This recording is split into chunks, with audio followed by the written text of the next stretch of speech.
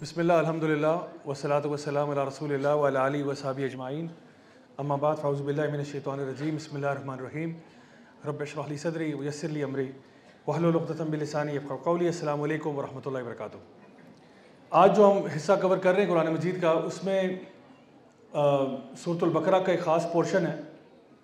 ویسے تو قرآن مجید کی ہر آیت جو ہے، اس کی اپنی ایک شان ہے اور اس کا اپنا ایک ویلیو ہے، اس کی اپنی ایک ورچو ہے۔ اور ساری ہی آیات ہمارے لیے بہت مقدم ہے لیکن ایک ایسی آیت ہے جو کہ قرآن مجید کی سب سے جو عالی شان آیت ہے، اس کو وہ ٹائٹل ملا ہوا ہے کہ وہ قرآن مجید کی سب سے عظیم آیت ہے۔ اور اس کے بارے میں ایک حدیث ہے صحیح مسلم کی، جہاں عبی بن کعب جو ہے، وہ رضی اللہ عنہ جو ہے، وہ ربی، وہ نبی کریم صلی اللہ علیہ وسلم کی خدمت میں پیش ہوئے۔ اور نبی کریم صلی اللہ علیہ وسلم نے ان سے یہ سوال پوچھا کہ مجھے یہ بتاؤ کہ قرآن مجید کی سب سے جو شاندار آیت ہے وہ کون سی ہے؟ تو عبی بن کعب نے آگے سے جواب دیا کہ واللہ اور رسول عالم، کہ اللہ اور اس کے رسول بہتر جانتے ہیں۔ آپ صلی اللہ علیہ وسلم نے دوبارہ ہی سوال پوچھا، دوبارہ ان کا یہ جواب آیا۔ پھر آپ نے سوال پوچھا، پھر ان کا یہ جواب آیا۔ تیسری دفعہ جب سوال پوچھا تو انہوں نے کہا آیت الکرسی۔ اور نبی کریم صلی اللہ علیہ وسلم نے ان کا یہ جواب سنتے ہوئے ان کے سینے پر ایسے پیار سے تھپڑ مارا اور کہا کہ تمہیں تمہارا علم مبارک ہو۔ یا اللہ تبارک اللہ تبارک و تعالیٰ تمہارے علم میں اضافہ فرمائے، اس میں مزید برکت ڈالے۔ تو یہ پتہ چلتا ہے کہ آیت الکرسی جو ہے، یہ سب سے عالی شان آیت ہے پورے قرآن مجید کی۔ اور اس کے بہت سارے فضائل ہیں۔ ایک اس کی فضیلت جو صحیح بخاری کی حدیث میں آتی ہے، وہ یہ کہ سیدنا ابو حریرہ جو ہے رضی اللہ عنہ، ایک دفعہ وہ بیت المال کی حفاظت کے اوپر تعینات تھے۔ تو ایک شخص جو تھا، وہ روزانہ وہاں پہ آتا اور کوئی مال وہاں سے چوری کر کے لے جاتا۔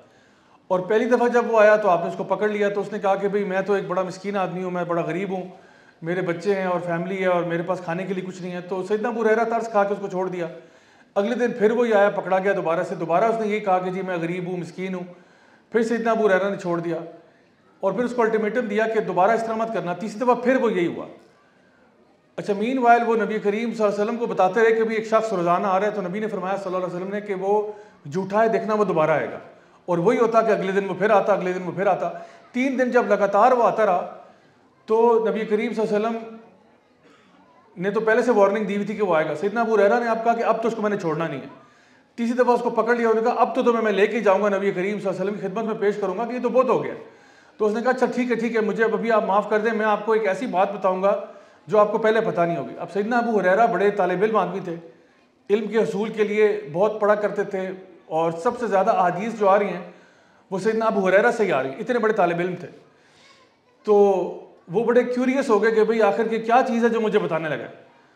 تو اس شخص نے کہا کہ میں آپ کو یہ بتانا چاہتا ہوں کہ آپ رات کو سونے سے پہلے اگر آیت الکرسی پڑھ لیں یعنی جب تم اپنے بستر کی طرف جاؤ رات کو، تو آیت الکرسی پڑھو تو اللہ کی طرف سے تمہاری حفاظت کے لیے کوئی مقرر ہو جائے گا صبح تک۔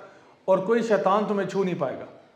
یہی بات جب سیدنا ابو حریرہ نے نبی کریم صلی اللہ علیہ وسلم کو یہ بات بتائی اور اس کے بعد ظاہری بات انہوں نے اس کو چھوڑ دیا۔ جب ان کو بتائی تو نبی کریم صلی اللہ علیہ وسلم نے فرمایا کہ اس نے صحیح کہا، لیکن تھا وہ جھوٹا اور وہ ایک شیطان تھا۔ یعنی کہ پتہ چلا کہ وہ ایک شیطان انسان کے روپ میں آیا ہوا تھا۔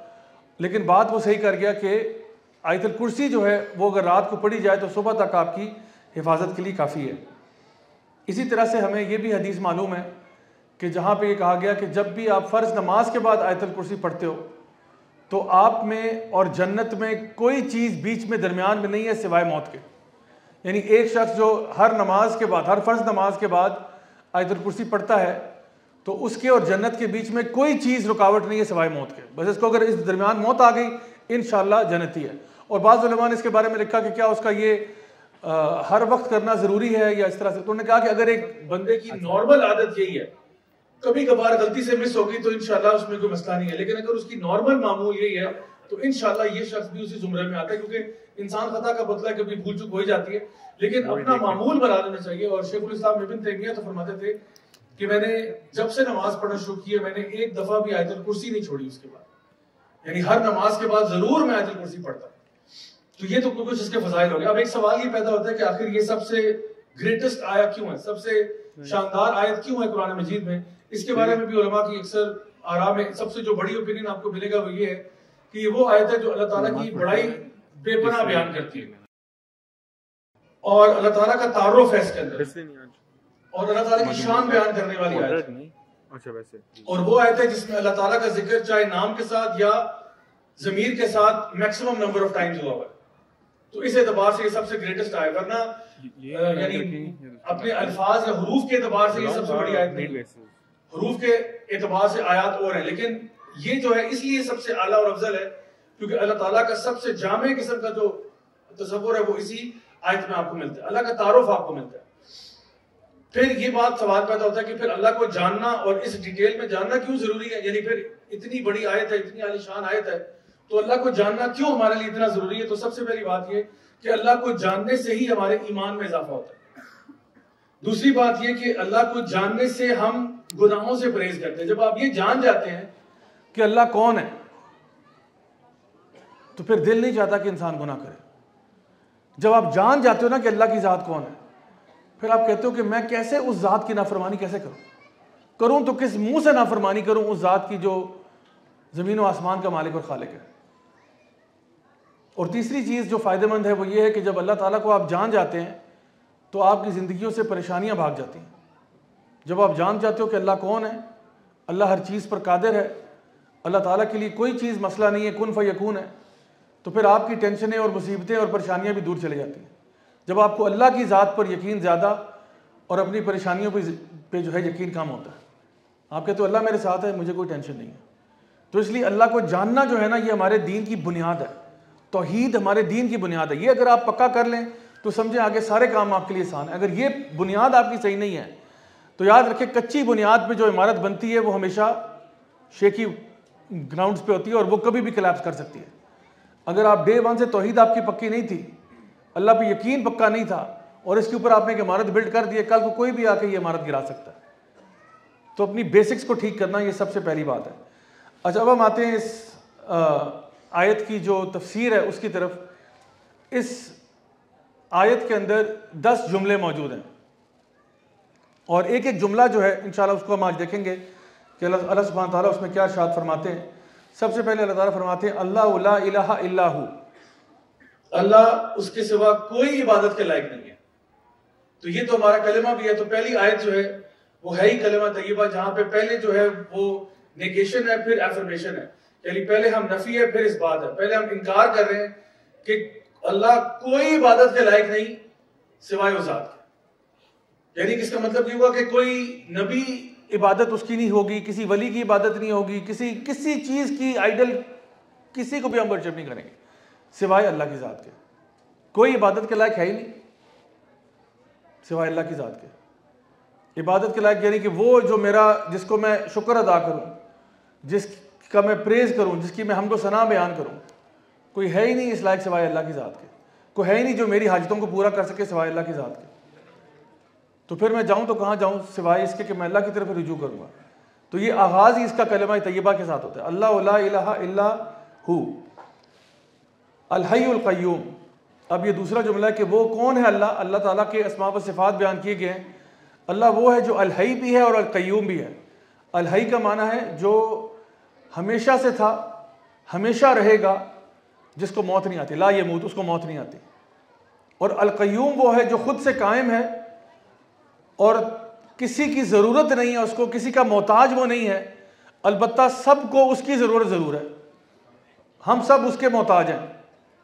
یعنی وہ خود قائم ہے اور ہم اس پہ ڈپینڈنٹ ہیں، لیکن وہ کسی پہ ڈپینڈنٹ نہیں ہے، وہ قیوم ہے اسی لیے جب یعنی کچھ اللہ تعالیٰ کے نام ایسے ہیں جو انسانوں کو ہم دے دیتے ہیں اور انٹرچینجبلی یوز ہو جاتے ہیں، کیونکہ ان کے اندر یعنی کہ وہ یونیک نہیں ہوتے۔ مثال کے طور پہ رحیم جو ہے، وہ اللہ تعالیٰ الرحیم ہے۔ تو انسان کا نام بھی رحیم ہو جائے تو کوئی ایسا مسئلہ نہیں انشاءاللہ۔ ویسے عام طور پہ عبد الرحیم لگا دیتے ہیں، لیکن رحیم بھی کہتے تو مسئلہ نہیں ہے۔ لیکن رحمان کی ذات جو ہے وہ صرف اللہ کے لیے ہے۔ رحمان کا مطلب ہوتا ہے رحیم وہ ہوتا ہے جو کسی ایک کے اوپر جب رحم کرتا ہے تو بہت زیادہ چھپڑ پھاڑ کے رحم کرتا ہے۔ تو ایک انسان کے اندر یہ ٹینڈنسی پائی جاتی ہے کہ وہ کسی ایک بندے کے ساتھ اگر اچھا ہو رہا ہے تو بہت زیادہ اچھا ہو گیا۔ لیکن ظاہری بات ہے اللہ سے تو کوئی مقابلہ نہیں ہے نا لئی سکے مسلی شہی لیکن رحمان کا مطلب یہ کہ ایٹ دا سیم ٹائم سب کے اوپر رحم کرنے والا۔ انسان یہ نہیں ہو سکتا۔ اسی طرح انسان الحی نہیں ہو سکتا۔ عبد الحی ہو سکتا ہے، الحی نہیں ہو سکتا، یا حی بھی نہیں ہو سکتا۔ قیوم بھی نہیں ہو سکتا عبد القیوم ضرور ہو سکتا ہے۔ اسی طرح عبداللہ ہو سکتا ہے۔ اللہ کا بندہ ہو سکتا ہے، کسی کسی انسان کا نام، نعوذ باللہ، اللہ نہیں ہو سکتا۔ تو یہ کچھ ایسے نام ہیں جو خاصم خاص اللہ تعالیٰ کے لیے تو اللہ الحی بھی ہے اور القیوم بھی ہے، ہمیشہ زندہ رہنے والا، جس کو موت نہیں آتی اور قیوم ہے، خود سے قائم ہے، کسی کسی کی ضرورت نہیں ہے اس کو۔ اور ہم سب کو اس کی ضرورت ہے۔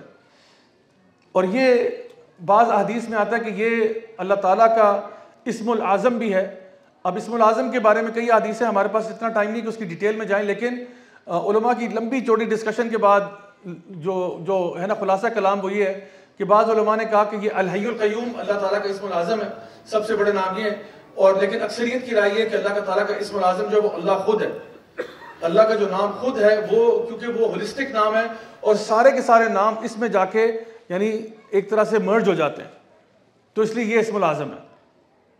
تو بہرحال یہ وہ اللہ تعالیٰ کے نام ہے جن کو، جن کے ساتھ اللہ تعالیٰ کو پکارا جاتا ہے، اللہ سے دعا کی جاتی ہے اور ان دعاؤں کے اندر اللہ تعالیٰ جو ہے وہ ہمیں قبولیت بخش دیتا ہے۔ آگے فرمایا لاتا خزو سنتم ولا نو کہ اللہ تعالیٰ کو نہ سنتم ولا نو نہ اللہ تعالیٰ کو اونگ آتی ہے اور نہ نیند آتی ہے۔ اب یہ اونگ اور نیند کیا ہے؟ اونگ یعنی اس کے بارے میں جو لغت کے علماء ہیں، لغت کے اسکالرز ہیں، وہ کہتے ہیں کہ اونگ وہ ہوتی ہے جس میں انسان کی صرف آنکھیں بند ہو جاتی ہیں اور نیند وہ ہوتی ہے جب انسان کا دل بھی بند ہو جاتا ہے۔ یعنی جب انسان، ہو سکتا ہے ابھی وہ پیچھے کوئی بھائی اونگ رہے ہوں، جن کی بیچ میں آنکھیں بند ہو رہی ہوں۔ شاید دوپہر کو نیند پوری نہیں ہوئی، کچھ ایسی ایسا معاملہ ہو لیکن ان کا دل ہمارے ساتھ ہی ہے۔ اور ہلکی سی کوئی آہٹ ہوتی ہے، ہلکی سی کوئی آواز آتی ہے تو ایک دم سے اٹھ جاتے ہیں۔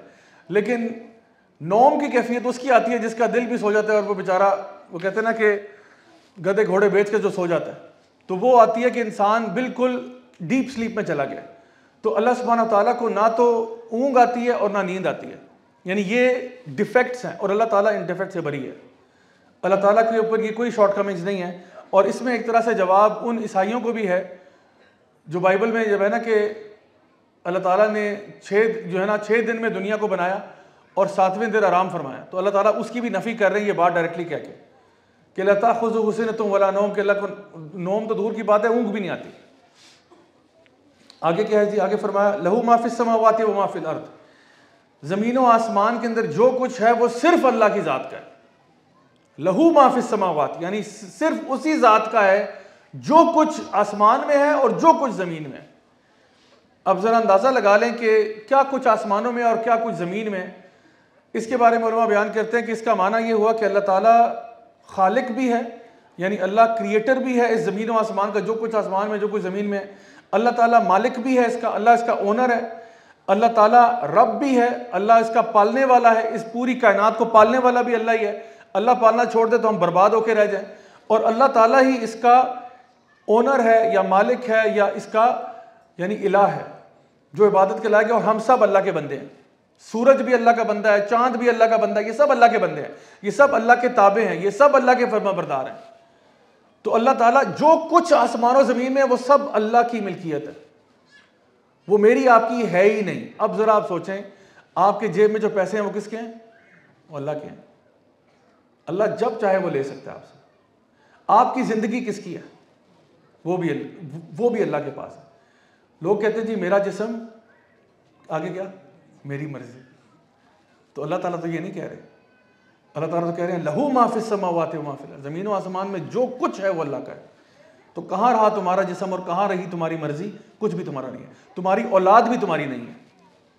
آپ کہ نہیں نہیں، یہ تو میرا ہی بچہ ہے۔ آپ کا بچہ نہیں ہے، یہ اللہ نے آپ کو دیا ہے۔ اور یہ صرف آپ کے بعد محدود مدت کے لیے جانا اس نے اللہ کے پاس ہی ہے۔ ان اللہ و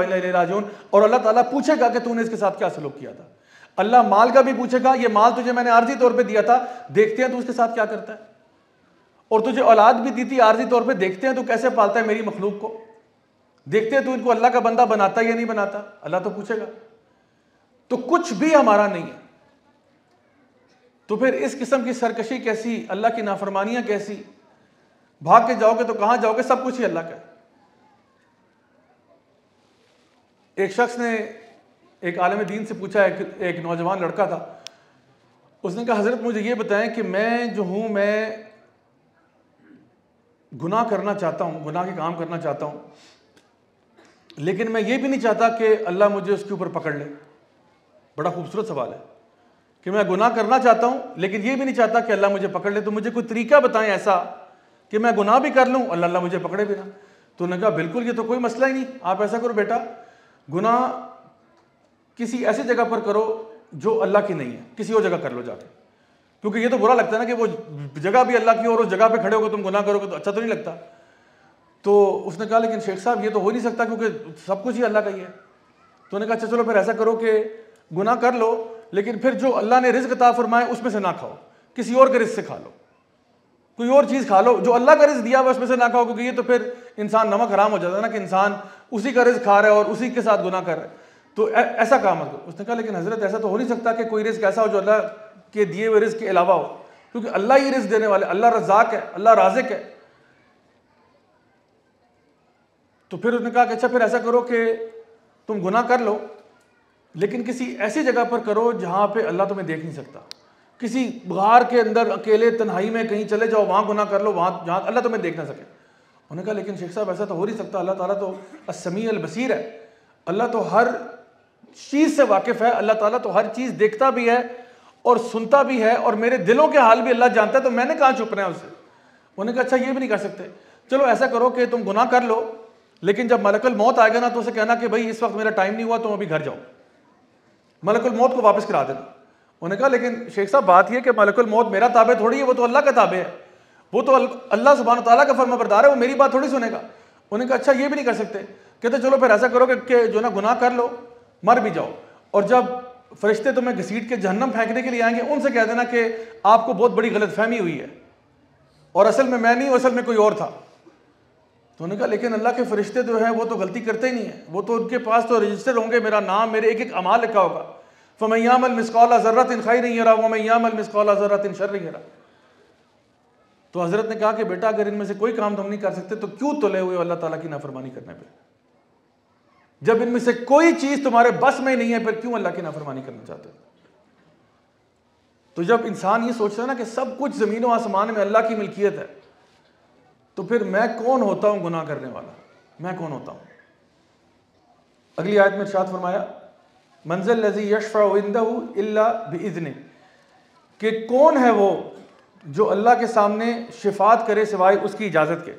یعنی یہ سوال کیا جا رہا ہے کہ کون ہے وہ؟ منزل لذی یشفع عندہ اللہ بھی تو یہ سوال کا یہ نہیں کہ جی میں بتاتا ہوں کون ہے، یہ سوال ہے جس کو ہم انگلش میں ریٹوریکل کوشچن کہتے ہیں۔ اس کا جواب نفی میں ہے کہ کوئی بھی نہیں ہے۔ کوئی بھی نہیں ایسا جو اللہ اللہ سبحانہ تعالیٰ کے سامنے بغیر اس کی اجازت کے شفاعت کر سکے۔ کوئی بھی نہیں۔ تو یہاں پہ ایک چیز سمجھ لیں کہ شفاعت کا معاملہ کیا ہے؟ یعنی شفاعت کا آسان ترجمہ یہ آپ کہہ سکتے ہیں کہ سفارش۔ تو ایک سفارش تو وہ ہوتی ہے جو ہمارے دفاتر وغیرہ میں ہوتی ہے کہ جہاں پہ ایک بندہ اس کا اہل نہیں ہوتا اور ہم کہتے ہیں، کوئی بات نہیں جی یہ میرا بتیجا لگتا ہے، اس کو نوکری دے دے۔ ہے، یہ اول درجے کا نکمہ ہے، لیکن چونکہ میرا بتیجا ہے، اس کو نوکری دے دیں ہم۔ تو کسی نا اہل کو پوزیشن مل جاتی ہے۔ تو یہ یہ تو دنیا کے معاملات ہیں، یہاں پہ انجسٹس ہو جاتا ہے نا انصافیاں ہو جاتی ہیں، لیکن اللہ کی بارگاہ میں نا انصافیاں ہوں گی؟ سوال ہی پیدا نہیں ہوتا۔ تو یاد رکھیں، شفاعت کے لیے دو کنڈیشنز ہیں۔ ایک یہ کہ اللہ تعالیٰ جو شفاعت کر رہا ہے، اس سے راضی ہو، اور دوسرا یہ کہ جس کی شفاعت کی جا رہی ہے، اس سے بھی راضی ہو۔ یعنی ایک تو وہ ہے کہ اللہ خود اجازت دے کہ ہاں آپ بتائیں کس کی سفارش کرنا چاہتے ہیں آپ۔ اور دوسرا، جس کی سفارش ہو رہی ہے، اللہ اس سے بھی راضی ہو، تو پھر اللہ تعالیٰ اس کے معاملات کو آسان کر دے۔ لیکن یہ بھی یہ بھی بات جان لیں کہ جس کا معاملہ جہنم کا ہو چکا ہے، اس کی شفاعت بھی نہیں ہو سکتی۔ نبی کریم صلی اللہ علیہ وسلم فرماتے ہیں کہ جو ان کے چچا تھے، ابو طالب، انہوں نے اسلام قبول نہیں کیا، آخری دم تک ایسے ہی رہے۔ اور نبی کریم صلی اللہ علیہ وسلم ان کے جب وہ اپنے ڈیتھ بیڈ پہ تھے، تو ان کے کان میں کہتے رہے کہ آپ اسلام قبول کر لیں، اسلام قبول کر لیں۔ کیونکہ ان کی بہرحال خدمات تو تھیں۔ نبی کریم صلی اللہ علیہ وسلم کو انہوں نے پالا، ان کے ان کا جو ہے نا خیال رکھا۔ سیدنا علی بن نبی طالب ان کے بیٹے بھی تھے۔ ان کو وہاں پہ نامزد کیا کہ آپ نبی کریم صلی اللہ علیہ وسلم کی جگہ پر لیٹ جائیں جب ہجرت کا موقع آیا۔ یہ سارے معاملات تھے۔ تو آخری وقت میں نبی کریم صلی اللہ علیہ وسلم ان کے کان میں کہتے رہے کہ اے میرے چچا اسلام لے آئیں۔ اللہ کو وحدہ اللہ شریک مان لیں۔ لیکن دوسری طرف ابو جہل بھی لگا ہوا تھا کہ نہیں، خبردار جو تم اپنے اپنے آبا و اجداد کے دین سے پھرے۔ تو ابو طالب یہی کہہ کر دنیا سے رخصت ہوئے کہ میں اپنے جو باپ دادا کے دین پر انتقال کرتا ہوں، کیونکہ مجھے ڈر ہے کہ میرے قبیلے کے لوگ کیا کہیں گے اور ہمارے ہمارے قبیلے کی عورتیں کیا کہیں گی میرے بارے میں؟ کہ دیکھو، ساری عمر یوں رہ کے تو اس طرح مرا جا کے نبی کریم صلی اللہ علیہ وسلم نے فرمایا، بڑے دکھ کے ساتھ کہ میرے جو چچا ہیں، وہ وہ شخص ہوں گے جن کو جہنم میں سب سے ہلکا عذاب ملے گا۔ اور وہ عذاب کیا ہوگا؟ کہ ان کو ابلتے ہوئے جوتے پہنائے جائیں گے، ابلتے ہوئے جوتے پہنائے جائیں گے گرم کوئلوں والے جوتے پہنائے جائیں گے جو ان کے دماغ کو ابال دیں گے۔ یعنی اس کی تپش اتنی ہوگی کہ پاؤں سے شروع ہو رہی ہے اور ان کا دماغ ابل جائے گا اس کی وجہ سے۔ یہ سب سے ہلکا عذاب ہے۔ صرف آگ کے جوتے پہنائے جائیں گے۔ بس، اور کچھ بھی نہیں۔ جس کی شدت اتنی ہے۔ تو نبی کریم صلی اللہ علیہ وسلم بھی ابو طالب کو نہیں بچا پائیں گے اس دن۔ ابراہیم علیہ السلام اس دن اپنے والد کو نہیں بچا پائیں گے۔ حدیث میں آتا ہے، ابراہیم علیہ السلام اللہ تعالیٰ سے کہیں گے کہ یا اللہ، آج مجھے نا امبیرس نہ کر دینا کہ یہ نہ ہو کہ میری آج امبیرسمنٹ ہو جائے۔ آج ایسا ہو کہ میں مایوس ہو جاؤں آج۔ کہ اللہ ایسا نہ کرنا۔ کیونکہ وہ اپنے والد کے بارے میں جانتے تو تھے کہ وہ ان کے اندر کئی قسم کے وہ کفر کیا کرتے تھے۔ نہ صرف بت بناتے تھے، بلکہ ان کو بیچتے تھے، بلکہ ان کو پوجتے تھے۔ ان کا جو ہے نا وہ ایک طرح سے ان کی جو ہے نا وہ پروموشن کیا کرتے تھے۔ یہ سارے کے سارے کفر وہ کیا کرتے تھے۔ اور جب ابراہیم علیہ السلام نے ان کی خیر کی بات ان تک پہنچائی تو انہوں نے کہا تم یہاں سے نکل جاؤ، ورنہ میں تمہیں پتھر مار مار کے ہلاک کر دوں گا۔ تو ابراہیم علیہ السلام نے یہ کہا تھا کہ ٹھیک ہے، آپ پر سلامتی و سلام علیک، میں آپ کے لیے دعا کروں گا آپ اور وہاں سے چلے گئے۔ تو اب قیامت کا دن آ گیا تو وہ کہہ رہے ہیں کہ یا اللہ آج مجھے جو ہے نا مایوس نہ کرنا۔ تو اللہ تعالیٰ کیا کریں گے کہ ابراہیم علیہ السلام کے جو والد ہیں، ان کو ایک جو یہ لگڑ بگڑ ہوتا ہے، جس کو ہائینہ کہتے ہیں انگلش میں، ہائینہ کی شکل میں پیش کیا جائے گا۔ اور ابراہیم علیہ السلام جب اپنے والد کو اس حالت میں دیکھیں گے، وہ کہیں گے کہ آج میں ان سے بری ہوں۔ ان کے ساتھ یا اللہ کیونکہ نا، انسان قیامت والے دن نا، اس کا وہ معاملہ ہوگا کہ جو اس کے اعمال ہیں نا، وہ مینیفیسٹ ہو جائیں گے اس کے چہرے پہ دنیا میں تو آپ سرخی پاؤڈر لگا لیتے ہیں، فلٹر لگا لیتے ہیں، شکل پیاری کر لیتے ہیں۔ لیکن اس دن جو آپ کے اعمال ہوں گے نا، وہ آپ کے چہرے پہ نظر آ رہے ہوں گے۔ تو کوئی انسان جو ہے، وہ ایک قسم کی مخلوق بنا ہوا ہے، کوئی کسی قسم کی مخلوق بنا ہوا ہے۔ تو وہ جب اس قسم کی مخلوق ہو کے پیش ہوں گے، تو ابراہیم علیہ السلام کہیں گے اللہ میری طرف سے بری ہیں آج۔ میں میں ان کو جانتا بھی نہیں۔ تو یاد رکھیں، شفاعت ایسا نہیں کہ جی بس کوئی ہو گیا تو بس کمال ہو گیا، ایسا نہیں ہے۔ نبی کریم صلی اللہ علیہ وسلم کے چچا ابو لہب کا ذکر قرآن مجید میں ہے۔ اور کس طرح ذکر ہے؟ اللہ تعالیٰ فرماتے ہیں، تبت یدا ابی لہب و تب۔ ہلاک ہو گیا ابو لہب اور اس کی بیوی کا ذکر بھی آ گیا، چچی کا بھی ذکر آ گیا کہ دونوں جو ہیں ان کے ارد گرد آگ کی رسی پھیری جائے گی، ان کے جو نا گردن کے ارد گرد۔ تو اس میں بھی سفارش کام نہیں کرے گی۔ تو سفارش کے لیے یاد رکھیں، اللہ تعالیٰ اس شخص سے راضی ہو جو سفارش کر رہا ہے۔ اللہ اس کو اجازت دے۔ ایسے نہیں کہ کوئی خود سے سفارشیں شروع کر دے۔ اللہ اجازت دے گا ہاں جی آپ بتائیں۔ آپ بتائیں۔ کیا کہنا ہے آپ نے؟ تو وہ بندہ کہے گا اللہ، یہ اور یہ بندہ، ان کی میں سفارش کرتا ہوں۔ اور وہ بھی ایسے ہوں جن میں کچھ نہ کچھ خیر ہونی چاہیے۔ یہ نہیں کہ پرلے درجے کا وہ منافق ہو یا کافر ہو اور وہ کہ جی اس کو بھی بسم اللہ کر کے ساتھ لیں، اس طرح نہیں ہوگا۔ تو یہ دونوں کنڈیشنز ٹرو ہوں گی تو پھر بندے کی شفاعت ہوتی ہے۔ نبی کریم صلی اللہ علیہ وسلم فرماتے ہیں کہ قیامت کے دن میں اللہ تعالیٰ کے عرش تلے سجدہ ریز ہو جاؤں گا۔ کتنے لمحے کے لیے؟ اتنی دیر کے لیے جتنا اللہ چاہے گا۔ اب امیجن کریں یہ منظر کیا ہے۔ نبی کریم صلی اللہ علیہ وسلم نے فرمایا تھا کہ تمام انبیاء جو گزرے ہیں نا، ان سب کو اللہ تعالیٰ نے ایک ایسی دعا دی ہے کہ جو ان کی زندگی میں اللہ تعالیٰ نے کہا تھا قبول ہو جائے گی۔ جو دعا، ایک دعا ایسی دوں گا، جو مانگو گے میں دے دوں گا۔ نبی کریم صلی اللہ علیہ وسلم نے فرمایا تمام انبیاء نے اپنی دعاؤں کو استعمال کر دیا سوائے میرے۔ میں نے اپنی یہ دعا آخرت کے دل کے لیے بچا کے رکھی ہے۔ اور میں کیا کروں گا؟ میں اپنی امت کی سفارش کروں گا۔ نبی کریم صلی اللہ علیہ وسلم فرماتے ہیں کہ میں سجدے میں گر جاؤں گا عرش تک، عرش کے سائے تلے۔ اور تب تک سجدہ کرتا رہوں گا، جب تک اللہ چاہے گا۔ پھر اللہ کہے گا کہ اے رسول اللہ، اپنا سر اٹھائیے۔ نبی کریم صلی اللہ علیہ وسلم اپنا سر اٹھائیں گے تو اللہ تعالیٰ کہیں گے اب بتائیے آپ کیا چاہتے ہیں۔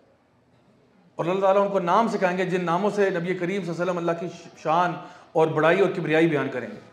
اور پھر کہ اب بتائیں کیا چاہیے تو وہ بتائیں کہ اللہ میری امت کے ان ان لوگوں کو معاف کر دیں وہ کون لوگ ہیں؟ وہی لوگ ہوں گے جن کے اندر کچھ نہ کچھ خیر تو ہوگی۔ تو میں دعا کرتا ہوں اللہ تعالیٰ ہمیں نبی کی شفاعت کا مستحق بنائے۔ اس دن اللہ تعالیٰ ہمیں سرخرو اور کامیاب کرے۔ تو اللہ تعالیٰ فرماتے ہیں، منزل منزل عزی یشفا وندہ اللہ بیج نے کوئی بھی اس دن کون ہے وہ جو اس دن اللہ کے سامنے شفاعت کرے سوائے اس کے جس کو اللہ خود اجازت دے گا؟ یا علما بین عیدی ہم وما خلف ہوں اللہ تعالیٰ فرماتے ہیں کہ اللہ تعالیٰ جانتا ہے جو کچھ ان کے پہلے تھا اور جو کچھ آگے آنے والا ہے۔ اس کے بارے میں یعنی بعض علماء نے کہا کہ اس سے مراد یہ ہے کہ اللہ جانتا ہے دو چیزوں کا ذکر ہو رہا ہے، جو ان سے پہلے تھی اور جو ان کے آگے آ رہی ہے۔ جو ان کے پہلے تھی یعنی کہ دنیا، اور جو آگے آ رہی ہے یعنی آخرت۔ اللہ تعالیٰ جانتا ہے، اللہ کے پاس یہ پورا علم ہے کہ کیا آپ کے ساتھ دنیا میں معاملات ہوئے اور کیا آپ کے ساتھ ابھی آخرت میں ہونے جا رہے ہیں؟ اسی کے ساتھ کچھ نے کہا کہ اللہ تعالیٰ ماضی اور حال اور مستقبل یہ سب جانتا ہے۔ اس کا بھی یہی مطلب ہے کہ اللہ تعالیٰ آپ کے پاس سے بھی واقف ہے، آپ کے پریزنٹ سے بھی واقف ہے، آپ کے مستقبل سے بھی واقف ہے۔ اللہ تعالیٰ کا علم اتنا مکمل ہے کہ اللہ یہ بھی جانتا ہے کہ آپ کون سا چیز آپ نے کی اور اگر یہ نہ کرتے تو کیا ہوتا؟ اور پھر جو زندگی بنتی ہے آپ کی وہ کہاں جاتی ہے؟ کیونکہ ہماری لائف میں نا مختلف جگہوں پہ سوال ایسے آتے ہیں جو کراس سیکشن بنتے ہیں۔ تو چاہے آپ ادھر نکل جاتے ہیں یا ادھر نکل اللہ کو پتا ہے، اگر یہاں جاتے ہیں، پھر آگے کہاں جاتے ہیں، پھر جاتے ہیں، وہ سارا اللہ کو پتا ہے۔ اور دوسرا جو ویب بن رہا ہے کہ ادھر جا سکتے تھے لیکن پھر یہاں بھی جا سکتے تھے، پھر یہاں بھی جا سکتے تھے، وہ سارے آپشن اللہ کو پتا ہے۔ کیا کچھ ہو سکتا تھا؟ What could have should have would have been وہ اللہ کو سب پتا ہے۔ اور ان کا نیٹ ریزلٹ کیا ہوتا ہے؟ یہ بھی اللہ کو پتا ہے۔ اور آپ سے پہلے کیا ہوا یہ بھی پتا ہے اور آپ کے بعد کیا ہوگا وہ بھی پتا ہے۔ اور آپ کے سینے میں کیا ہے یہ بھی اللہ کو پتا ہے۔ ماں کے پیٹ میں کیا ہے وہ بھی اللہ کو پتا ہے۔ اللہ ہر چیز سے واقف ہے۔ ایک ریت کا ذرہ لیفٹ رائٹ ہوتا ہے، اللہ کو پتا ہوتا ہے کہ یہ ذرہ لیفٹ رائٹ ہوا ہے ایک بارش کا قطرہ گنتا ہے، اللہ کو پتا ہوتا ہے کہاں گرا، کب گرا، کس سپیڈ سے گرا، کس جگہ پر گرا۔ ایک پتا درخت سے گرتا ہے، اللہ کو پتا ہوتا ہے۔ ایک گھاس کا پتا ہلتا ہے تو اللہ کو پتا ہوتا ہے یہ پتا یہاں پہ ہے۔ اللہ ہر چیز سے واقف ہے، کوئی چیز اللہ سے پوشیدہ نہیں۔ یہ اللہ کا علم ہے، العلیم ہے، اللہ اللہ کا علم مکمل ہے۔ تو اب سوچیں کہ جب اللہ کا علم مکمل ہے، اللہ کا علم کمپلیٹ ہے، اب ہماری زندگی میں کچھ ہو گیا اور ہمیں سمجھ میں نہیں آ رہا کیوں ہوا ہے۔ اب ہم پریشان ہو رہے ہیں۔ حالانکہ ہم جانتے ہیں کہ اللہ ہماری ماں سے زیادہ محبت کرتا ہے۔ تو اللہ آپ کے ساتھ برا کر سکتا ہے۔ کبھی برا کر سکتا ہے۔ اللہ جانتا ہے کہ جو آپ کے ساتھ ہوا نا، کبھی کبھار ہمیں نہیں پتا ہوتا کہ ہمارے ساتھ ایسا کیوں ہوا ہے۔ جیسے ایک بچہ سات سال کا ہے ڈینٹسٹ کے پاس جاتا ہے، اس کا باپ اس کو لے کے جاتا ہے ڈینٹسٹ کے پاس۔ تو بچے کے دانتوں میں کیوٹیز ہیں۔ تو بچے کے پوائنٹ آف ویو سے کیا نظر آ رہا ہے کہ میرا باپ بڑا ظالم ہے؟ کیونکہ مجھے تکلیف تھی۔ پچھلے دو تین دن سے میں شدید تکلیف میں تھا، شکایت کر رہا کہ ابو مجھے درد ہو رہا ہے، درد ہو رہا ہے۔ اب فائنلی ابا جان مجھے پکڑ کے کہاں لے کے گئے؟ ایک ایسے شخص کے پاس جو اس نے مجھے سب سے پہلے تو وہ چیئر پہ لٹا دیا اس نے مجھے۔ اس کے بعد میرے سامنے وہ ایک ٹارچر کٹ لے کے آیا ہے، جس میں طرح طرح کے بڑے ہی مشکوک قسم کے آلات موجود تھے۔ ایک اتنا بڑا ٹیکا بھی تھا، ایک اس میں اللہ معاف کرے ڈرل مشین بھی تھی، ایک اس میں ایک وہ حکنما چیز بھی تھی جس سے پتہ نہیں وہ میرے ساتھ کیا کرے گا۔ اور میرے ابا جان وہ کھڑے مسکرا رہے ہیں۔ اس کے بعد ڈاکٹر صاحب بسم اللہ پڑھ کے میرے منہ کے اندر جو ہے وہ انجیکشن لگاتے ہیں۔ میں پہلے ہی تکلیف میں تھا، میری تکلیف ملٹیپلائڈ بائی ٹین ہو جاتی ہے۔ اس کے بعد وہ ظالم انسان ڈرل مشین لے کے میرے منہ کے اندر ڈرلنگ شروع کر دیتا ہے۔ ایز اف میں پہلے پہلے تکلیف کم تھی جو یہ اور تکلیف دے رہا ہے۔ اس کے بعد وہی وہ ہک لے کے میرے منہ میں پتہ نہیں کیا وہ کچھ جو ہے نا کریدنا شروع ہو گیا، خراشنا شروع ہو گیا۔ And all the main while میرا باپ مسکرا رہا ہے۔ اور جب یہ پندرہ منٹ کی اذیت اور ٹارچر سے میں گزرا، تو میرا باپ جو ہے وہ ڈاکٹر کا ہاتھ میں لاتا ہے اور کہتا ہے تھینک یو ڈاکٹر صاحب. اور ڈاکٹر صاحب کو نقد کیش پکڑاتا ہے کہ بہت شکریہ آپ کا، یہ لوگ پیسے، یہ معاوضہ اس کو ٹارچر دینے کا۔ پتہ نہیں نیکسٹ ٹائم کب لے کے آئیں گے یہاں پہ۔ دوبارہ ٹارچر دینے کے لیے۔ تو اب بچے کے پوائنٹ آف ویو سے باپ کیا ہے؟ ظالم ہے۔ لیکن بچے کی عقل کتنی ہے؟ باپ کی عقل زیادہ ہے۔ بچے کا علم کتنا؟ اتنا سا علم ہے۔ باپ کا علم زیادہ ہے۔ اور بچے کو نہیں پتا کہ باپ نے کیا سوچا تھا کہ بیٹا، مجھے پتا ہے کہ تو دو تین دن سے تکلیف میں ہے۔ پندرہ منٹ کی تکلیف اور برداشت کر لے، وہ تکلیف زیادہ ہوگی۔ مجھے پتا ہے وہ تکلیف زیادہ ہوگی۔ لیکن اس کے بعد تو آرام سے چین سے رہے گا۔ بالکل اسی طرح سے مائی ڈیئر برن سسٹرز اللہ تعالیٰ کبھی کبھار ہم تکلیف میں ہوتے ہیں، تکلیف میں اضافہ ہو جاتا ہے۔ پھر ہم کہتے ہیں اللہ میرے ساتھ ایسا کیوں ہو رہا ہے؟ ریلیکس کرو، ابھی ٹھیک ہو جاؤ گے۔ فن نما علوسری یسرا ان نما علوسری یسرا ہر مشکل کے ساتھ یہ آسانی آتی ہے، اللہ تعالیٰ کہہ رہے آسانی آتی ہے۔ بس ٹرسٹ کرو اللہ تعالیٰ کو۔ اللہ پر توکل کرو، اللہ پہ بھروسہ کرو۔ اللہ کا علم مکمل ہے، تمہارا علم مکمل نہیں ہے۔ تم ہر چیز کو نہیں جانتے۔ ہر چیز کی پیچیدگیوں سے تم واقف نہیں ہو۔ اللہ واقف ہے۔ اور اللہ کو پتا ہے کہ جو تم جس کو برا سمجھ رہے ہو وہ تمہارے لیے برا نہیں ہے۔ اور یقین کرو، آج سے ایک مہینے بعد، دو مہینے بعد، سال بعد، جب تم اس واقعے کو دوبارہ دیکھو گے، تم کو کہ اللہ نے جو کیا بالکل ٹھیک کیا۔ جو ہوا بالکل صحیح ہوا، کیونکہ وہ نہ ہوتا، تو آج شاید میں یہاں پہ بھی نہ ہوتا، جہاں میں آج ہوں۔ تو یہ ہے اللہ تعالیٰ کے علم پر یقین ہونا انسان کو، کہ اللہ ہر چیز کو جاننے والا، ہر چیز کو، ہر چیز اللہ تعالیٰ کی قبضہ قدرت کے اندر ہے۔ آگے ہے ولا یحیطون بشیء من علمه الا بما شاء۔ اور اللہ اس علم میں سے کسی کو کچھ بھی نہیں دیتا سوائے اس کے جو وہ چاہے۔ یعنی یہ جو علم ہے اللہ تعالیٰ کا، اللہ تعالیٰ یہ اس علم میں سے کسی کو دیتا نہیں ہے سوائے اس کے جو اللہ تعالیٰ چاہتا ہے۔ کوئی اس کا احاطہ نہیں کر سکتا، اس اللہ تعالیٰ کے علم کا کوئی بھی احاطہ نہیں کر سکتا سوائے اس تھوڑی سی چیز کے جو اللہ اپنے انبیاء کو دے دیتا ہے۔ اور وہی کے ذریعے علم پہنچ جاتا ہے، یا ہم ہم لوگوں کو جو تھوڑا بہت علم آ جاتا ہے وہ کچھ بھی نہیں ہے۔ یعنی کہ ایک حدیث میں آتا ہے کہ موسیٰ علیہ السلام، خضر علیہ السلام کے ساتھ ایک کشتی پر سوار ہیں اور موسیٰ اور خضر اس ٹائم پہ دنیا کے سب سے زیادہ علم والے لوگ ہیں۔ دونوں کے پاس وہی آ رہی ہے، دونوں کے پاس اللہ کی طرف سے علم آ رہا ہے۔ کسی اسکول، کالج، یونیورسٹی کا نہیں، اللہ کی طرف سے جو العلیم ہے ڈائریکٹ نالج آ رہا ہے دونوں کے پاس۔ اور دونوں کشتی پر سوار ہیں اور خضر موسیٰ سے کہتے ہیں، ایک چڑیا کو دیکھتے ہوئے جو سمندر کے اندر اپنی چونچ ڈالتی ہے اور اس کی چونچ پہ کتنا سا پانی رہتا ہوگا؟ تو خضر علیہ السلام کہتے ہیں کہ موسیٰ، یہ جو چڑیا کی چونچ پہ پانی باقی رہ گیا نا، جو کہ نہ ہونے کے برابر ہے، صرف وہ ایک تری سی محسوس ہو رہی ہے کہ اس کی چونچ تر ہوئی بھی ہے، بس اور کچھ بھی نہیں۔ انہوں نے کہا، یہ جو چڑیا کی چونچ میں پانی رہ گیا ہے، یہ میرا اور تمہارا مشترکہ علم ہے، اور جو سمندر ہے، یہ اللہ کا علم ہے۔ اندازہ لگائیں، یہ وہ لوگ ہیں جو دنیا کے سب سے علم والے لوگ ایٹ دا سیم ٹائم ایک ہی کشتی پہ سوار ہیں۔ ان کا مشترکہ علم نہ ہونے کے برابر ہے اور اللہ کا علم کیا ہے؟ پورا سمندر ہے۔ تو اس سے اللہ تعالیٰ، اللہ جس کو دیتے ہیں، بس تھوڑا سا جو ہے نا عطا فرما دیتے ہیں۔ کسی کو نہیں دیتی۔ اصل میں تو جا کے پتہ چلے گا جب آپ ان شاء اللہ تعالیٰ ہم سب کو جنت نصیب کرے۔ جب جنت میں داخل ہوں گے تو پھر پتہ چلے گا کہ اصل معاملات کیا ہیں۔ یعنی ابھی اللہ تعالیٰ ہماری آنکھیں ذرا کھول دے اور ہمیں فرشتے نظر آنا شروع ہو جائیں۔ شاید ہم میں سے کچھ لوگ ہال چھوڑ کے بھاگ جائیں۔ ہمیں اگر جن نظر آنا شروع ہو جائیں، اللہ معاف کرے تو۔ کیونکہ ہم سب کے ساتھ ایک ایک جن بھی اس وقت اٹیچ ہوا ہوا آپ کو پتہ ہے؟ جتنے لام جتنے یہاں پہ لوگ ہیں، کم از کم اتنے جن موجود ہیں، اس کے علاوہ بھی ہو سکتے ہیں، واللہ عالم۔ اور فرشتے تو ہم سارے اپنے ساتھ لے کے آئے تو اس محفل میں جتنے آپ کو انسان نظر آ رہے ہیں، اس سے ڈبل ٹرپل یا فور ٹائمز اور مخلوق بھی موجود ہے۔ جو ہماری آنکھوں سے اوجل ہمیں نظر نہیں آتے۔ اگر نظر آ جائیں تو پتہ نہیں کیا ہوگا آپ کے ساتھ۔ تو کتنے ایسے معاملات ہیں جو اس میٹا فزیکل ریالٹیز ہیں جو ہمیں پتہ ہی نہیں ہوتی۔ ڈیلی ہم روٹین میں چل رہے ہوتے ہیں۔ ایک حدیث میں آتا ہے، جو شخص اپنے گھر سے باہر نکلتا ہے اور نکلنے سے پہلے پڑھتا ہے بسم اللہ توکلت علی اللہ لا حول ولا قوت الا باللہ اس کے گھر کے باہر دو شیاطین کھڑے ہوتے ہیں۔ اور وہ کہتے ہیں کہ آج ہم، ہمارا کوئی اثر نہیں اس کے اوپر، تو وہاں سے وہ چلے جاتے ہیں۔ امیجن کریں، اگر آپ گیٹ سے نکل رہے ہوتے اور وہ دو شیاطین وہاں پہ کھڑے ہوتے، ایسے کر کے آپ کو دیکھ رہے ہوتے۔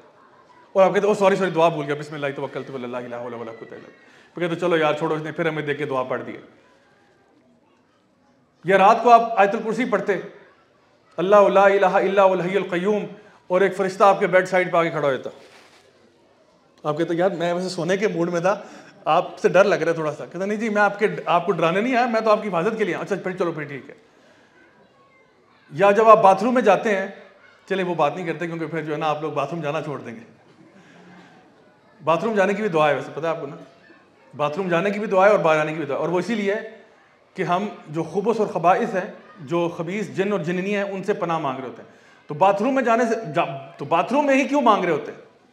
یہ پھر کسی اور دن ٹاپک بتاؤں گا آپ کو انشاءاللہ، جب جنات پہ ہم بات کریں گے۔ تو بہرحال یہ اللہ تعالیٰ کسی کو اگر علم دیتا ہے تو وہی ہوتا ہے جو اللہ تعالیٰ چاہتا ہے۔ وسیع کرسی اس سماوات والارض۔ اللہ تعالیٰ کی جو کرسی ہے، وہ اس اس کا پھیلاؤ کتنا ہے، وہ جو زمین و آسمان کا ہے، سماواتی والارض جتنا پھیلاؤ ہے اس کا۔ ایک حدیث میں آتا ہے کہ بڑی مشہور حدیث ہے کہ جو کرسی ہے، اس کا رشتہ اس کائنات کے ساتھ کیا ہے؟ یعنی پورے جتنے بھی ساتوں آسمان ہیں، ان کو جتنی بھی یہ ہماری دنیا ہے، اور ساتوں آسمان ہے اور پوری یونیورس ہے یعنی یونیورس کتنی بڑی ہے۔ ابھی آپ لوگ سارے اسلام آباد میں ہیں۔ اسلام آباد جو ہے وہ فیڈرل ٹیریٹری ہے یا پنجاب کے اندر اگر ایڈ کرنا چاہیں تو ڈال دیں آپ اس کو۔ اور وہ پاکستان کے اندر ہے، پاکستان ایشیا کے اندر ہے، ایشیا پلانٹ ارتھ کے اندر ہے۔ پلانٹ ارتھ جو ہے وہ ایک سولر سسٹم کا حصہ ہے، جس میں پہلے نائن پلانٹس ہوتے تھے، پھر وہ جو ہے پلوٹو ڈی کلاسیفائی ہو گیا تو آٹھ پلانٹس رہ گئے۔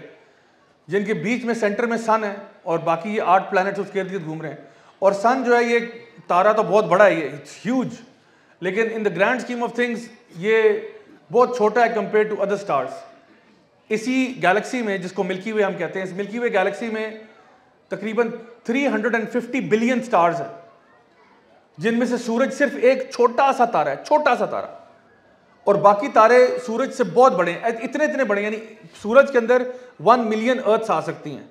سورج کا اگر ایک فٹ بال بنا رہے ہیں نا سورج کو آپ، تو ون ملین ارتھس اس سورج کے اندر ڈالی جا سکتی ہیں۔ اور ایسے سٹارز موجود ہیں جن میں ون ملین سورج آ سکتے ہیں۔ اور وہ اسی گیلیکسی میں اور کتنے سٹارز ہیں اس طرح کے؟ Three hundred and fifty billion جب آپ آسمان میں اوپر دیکھتے ہیں نا تو یہ آپ کو یہ ملکی وے کے سٹارز نظر آتے ہیں۔ لیکن بالکل اس ملکی وے کے ساتھ ایک اور گیلیکسی ہے، اس کو اینڈرومیڈا کہتے ہیں۔ اس میں کم و بیش فور ہنڈریڈ بلین سٹارز ہیں۔ اور ملکی وے اور اینڈرومیڈا جیسی گیلیکسیز بھی تقریباً کوئی two hundred and fifty million ہے انسان کا دماغ اڑ جاتا ہے، یہ بات سوچ کے۔ اور یہ کیا ہے؟ یہ صرف فرسٹ ہیون ہے۔ اور اللہ تعالیٰ کی جو سیون ہیونز ہیں، وہ ساری کی ساری ان کا کیا کمپیریزن ہے؟ کرسی کے ساتھ حدیث میں آتا ہے، جیسے کہ ایک سیرا کے اندر انگوٹھی ہے۔ یعنی وہ جو انگوٹھی ہے نا، یہ ساتوں آسمان ہے۔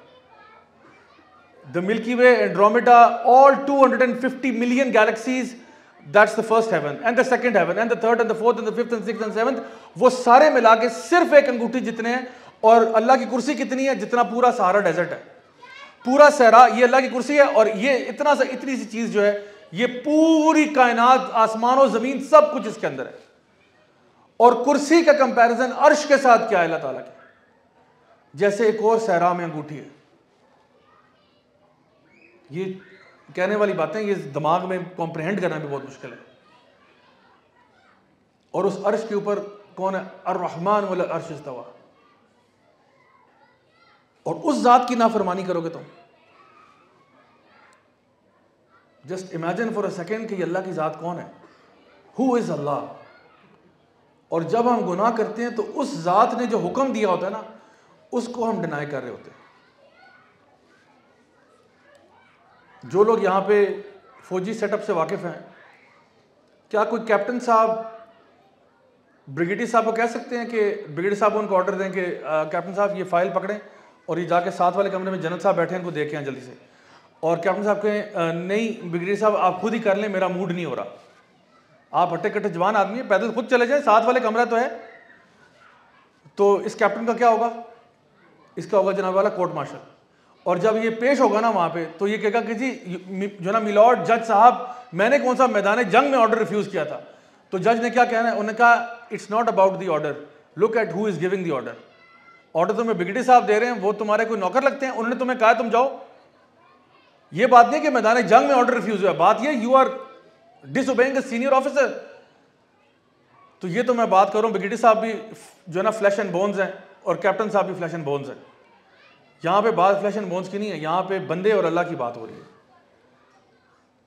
جو اللہ ہمارا پیدا کرنے والا، ہمیں پرووائڈ کرنے والا، ہمیں سسٹین کرنے والا، جس کے ہاتھ میں ہماری زندگی موت ہے، جس کے ہاتھ میں ہماری عزت، ذلت ہے، جس کے ہاتھ میں ہمارا رزق ہے، جو تمام خیر ہے، وہ اس کے ہاتھ میں اس کی نافرمانی کر رہے ہیں۔ سمجھ سے باہر ہے۔ تو اللہ تعالیٰ فرماتے ہیں، وسیع کرسی اس سماوات والارض۔ یہ سب کچھ جو ہے، یہ اللہ تعالیٰ کی کرسی کے اندر سما گیا ہے۔ ولا یہود حفظ اور اللہ تعالیٰ کو کوئی تھکاوٹ محسوس نہیں ہوتی اس کی حفاظت کرنے میں، کیونکہ ایک نیچرل سوال پیدا ہو سکتا ہے، بھائی اتنی بڑی زمین، اتنا آسمان، اتنے پلانٹس اتنی گیلیکسیز یقیناً یہ تو بڑا مشکل کام ہوتا ہوگا۔ اللہ تعالیٰ نوز بلّہ تھک جاتے ہوں گے۔ اللہ تعالیٰ فرما رہے ہیں، کوئی میں تھکتا نہیں ہوں۔ لاتا خز سے نہ تم ولا نوم، نہ مجھے اونگ آتی ہے، نہ نیند آتی ہے یعنی اللہ کے لیے یہ کچھ بھی نہیں ہے یہ معاملات۔ تمہارے لیے انسان ہونے کے ناطے مینجمنٹ اور پلاننگ اور ایگزیکیوشن بہت بڑی بڑی بلائیں ہیں۔ اللہ کے لیے کچھ بھی نہیں ہے یہ۔ ولا یعود حفظ اللہ کو کوئی فٹیک نہیں ہوتی اس کے اندر۔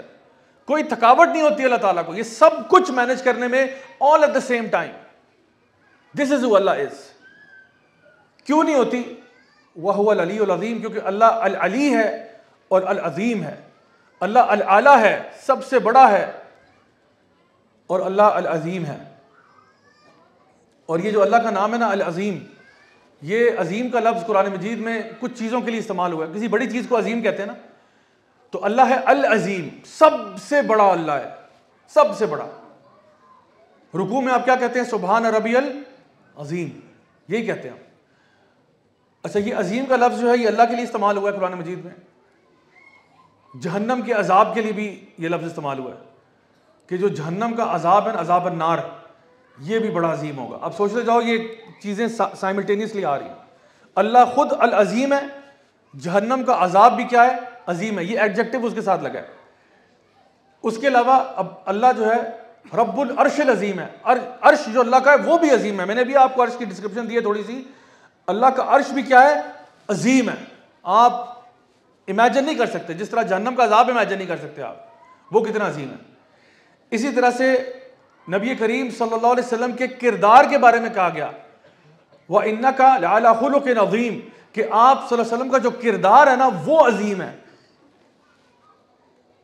اور جو رب العظیم ہے اور جس نبی کا کردار عظیم ہے، اس کے بندوں کو کیا عظیم چیز دی جا رہی ہے؟ اللہ تعالیٰ فرماتے ہیں قرآن مجید میں، وَمَن يُتِي اللَّهَ وَرَسُولَهُ فَقَدْ فَازَ فَوْزًا عَظِيمًا کہ جو اللہ اور اس کے رسول کی اتباع کرے گا جو اللہ اور اس کے رسول کی پیروی کرے گا، اس کو ہم ایک کامیابی دیں گے۔ وہ کامیابی کیا ہوگی؟ عظیم ہوگی۔ اللہ اکبر کبیرہ۔ تو اگر آپ اور میں اس رب عظیم کی عبادت کر لیں اور اس کے پیارے نبی کی اتباع کر لیں، جس کا کردار عظیم ہے، تو اللہ تعالیٰ ہم سب کو گارنٹیڈ ایسی کامیابی دے گا جو کامیابی عظیم ہوگی۔ جس جیسی کامیابی آپ نے زندگی میں کبھی تصور بھی نہیں کیا ہوگا، وہ کامیابی اللہ آپ کو فرمائے گا۔ سو مائی ڈیئر سسٹرز یہ آیت الکرسی ہے۔ اس کو روزانہ آپ نے رات کو تو پڑھنا ہی پڑھنا ہے۔ دن میں بھی پڑھنے کے فضائل اس کے بہرحال ہیں کہ دن میں پڑھنے سے بھی شیاطین کے شر سے آپ محفوظ رہتے ہیں۔ تو کوشش کریں کہ اس کو اپنی ڈیلی روٹین کا حصہ بنائیں۔ اللہ تعالیٰ سے دعا ہے کہ اللہ تعالیٰ ہم سب کو عمل کرنے کی توفیق عطا فرمائے۔ بارک اللہ فیکم۔ والسلام علیکم ورحمۃ اللہ وبرکاتہ۔